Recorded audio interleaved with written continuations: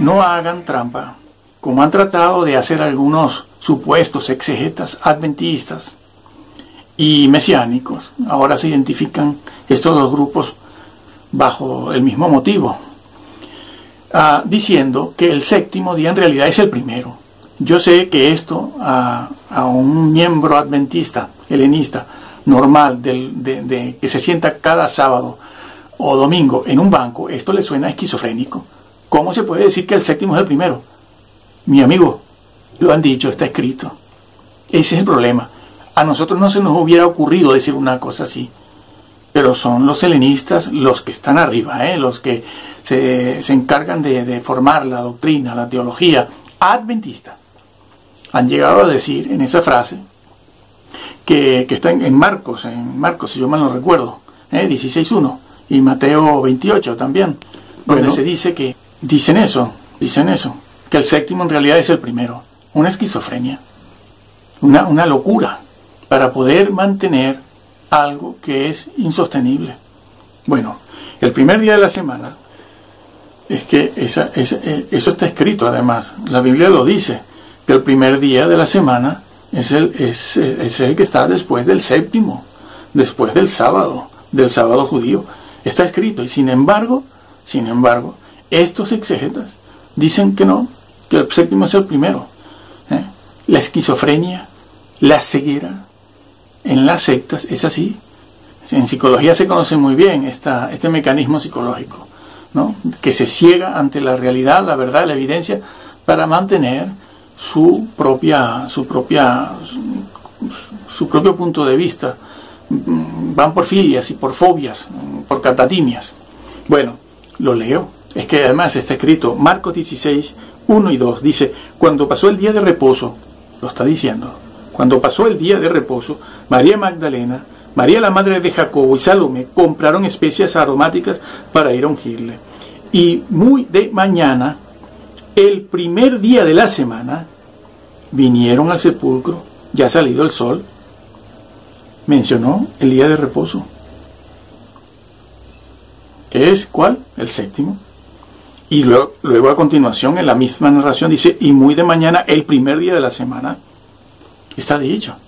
Son dos días distintos. Son distintos. Es más, está en, está en Mateo 28.1 también una historia muy conocida. Pasado el día de reposo, al amanecer del primer día. No son el mismo día. La resurrección no ocurrió un sábado. El Señor no se le apareció un sábado a nadie. A nadie, a nadie. Está escrito. Es una esquizofrenia decir que el primer día es el séptimo. Por eso muchos muchos mm, miembros de las iglesias adventistas normalitos de, los bancos, cuando escuchan decir esto, dicen, pero eso es una locura, a quien se le ocurrió, lo han inventado. No, no, sus propios exegetas, muchos de ellos lo dicen. Y, el, y la masa, la manada lo cree, claro. Bueno, nos eh, regresamos a Hechos, Hechos 20, donde estábamos. Y seguimos viendo que allí el primer día de la semana, reunidos los discípulos, ¿para qué? Para partir el pan. ¿Por qué para partir el pan? ¿Por qué para partir el pan ese día? Bueno, muy sencillo. Porque ellos estaban obedeciendo una orden del Señor. Lo hacían ese día porque obedecían una orden del Señor. ¿Cuál es esa orden?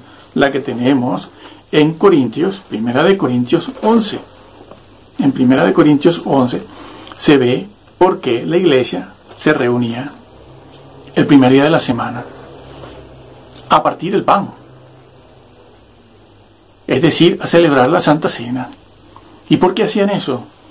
Porque el versículo 25 del capítulo 11 de Primera de Corintios lo dice, asimismo, tomó también la copa después de haber cenado, diciendo, esta copa es el nuevo pacto en mi sangre, haced esto todas las veces que la bebiereis en memoria de mí. Ellos se reunían el primer día de la semana para celebrar un culto. Porque la Santa Cena no se hace fuera del culto. Sería el colmo que también estuviesen enseñando eso. La Santa Cena El partimiento del pan, como hemos visto aquí en Hechos 20, se hacía en un culto. El culto es para eso. Es que en, aquel momento histórico, cuando, cuando Jesús acaba de resucitar, el centro, el centro del culto era el partimiento del pan. Y los discípulos para partir el pan. ¿Por qué lo hacían? El primer día de la semana. Porque les había sido ordenado. Era un mandato. Y ese mandato no es cualquier cosa, es un mandato. Tiene algo detrás. Tiene algo detrás, sí señor. Eso, ellos, esta situación de reunirse el primer día de la semana, a partir del, no lo hacían porque Constantino lo, ordenó. Constantino no estaba vivo aquí, es que no soñaba ya en nacer. Esa costumbre de reunirse el primer día de la semana, que coincide con el culto al sol, eso no lo inventó Constantino, ni lo ordenó Constantino, ni los cristianos de la iglesia, nada menos que apostólica, estaban adorando al sol. Es un absurdo. Ustedes no saben que cada día de la semana fue dedicado a un planeta.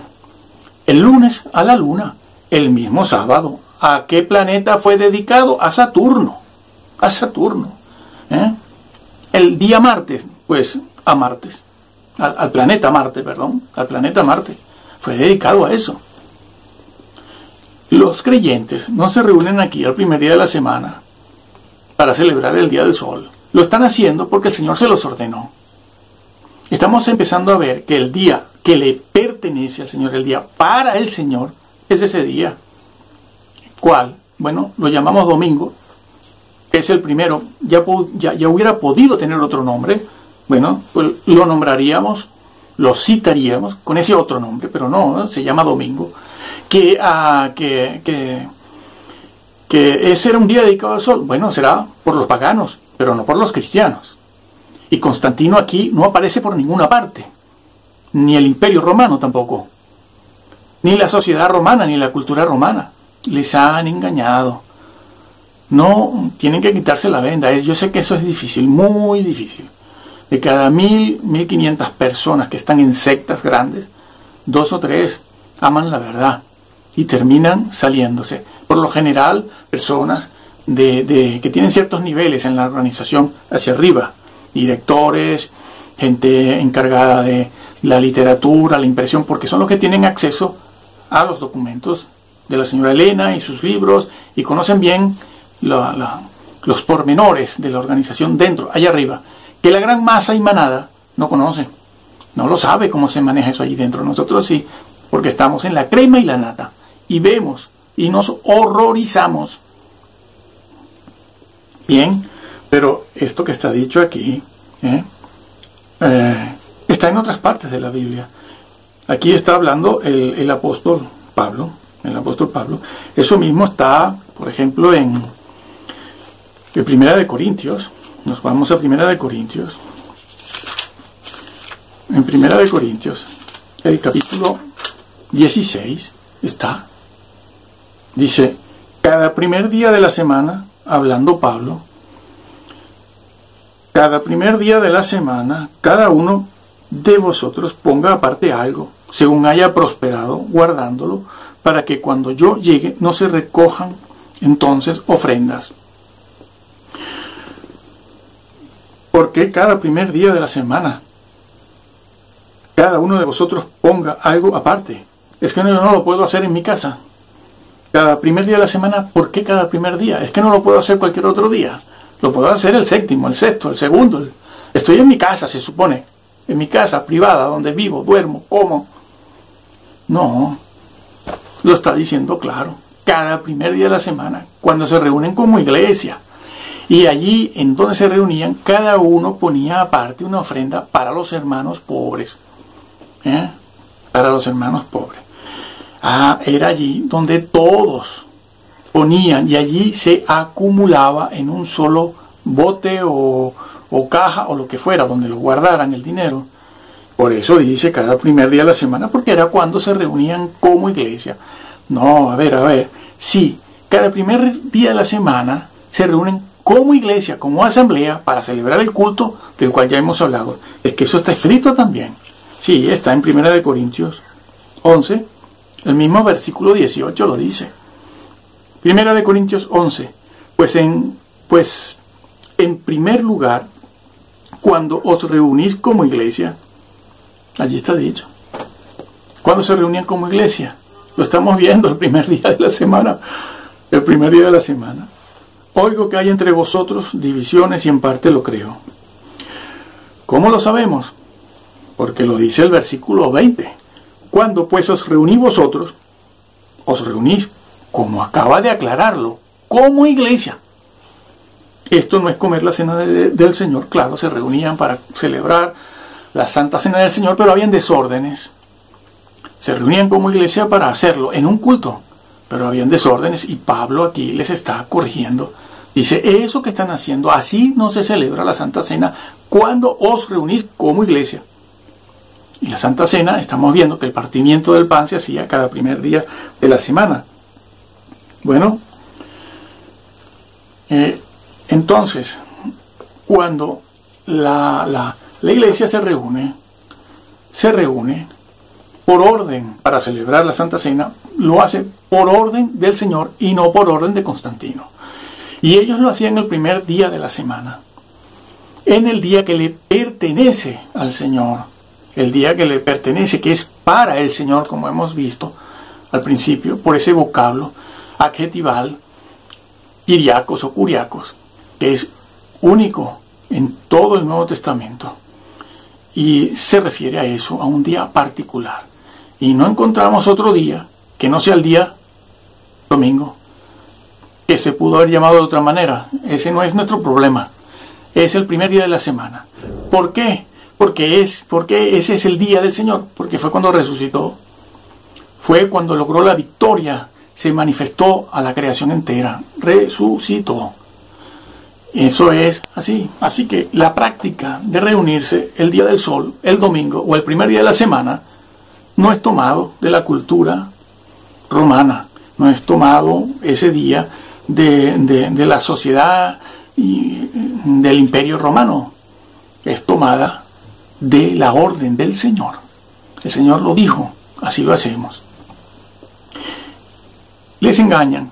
Constantino no estaba vivo ni soñaba todavía con vivir. A lo mejor no estaban vivos ni sus propios abuelos todavía. No vemos a Constantino aquí. No solo eso, de paso queremos decir una cosa. Cuando celebraban el culto era un culto muy sencillo. En todas las iglesias. Se empezaba leyendo la escritura, después alguien la meditaba, la reflexionaba, la, la interpretaba para, para los para los asistentes, se cantaban himnos, se oraba y se celebraba la Santa Cena después. Eso está en los documentos históricos. Después veremos alguna cosa, alguna cosa más. Y se celebraba la Santa Cena. Por cierto, que los que no eran miembros mm, bautizados de, esa, de esa casa, de esa iglesia, de, de esa congregación, tenían que retirarse en muchos lugares no estaban presentes durante la celebración de la Santa Cena.